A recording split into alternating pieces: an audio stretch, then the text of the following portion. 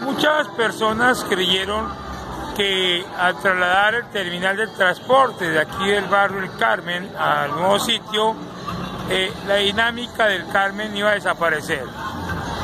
Eh, hoy es sábado 7 de marzo del 2020 y observamos que la dinámica antes se impulsó, ¿no?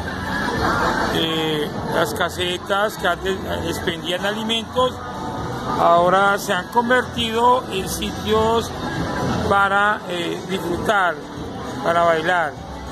Eh, eso ya es el,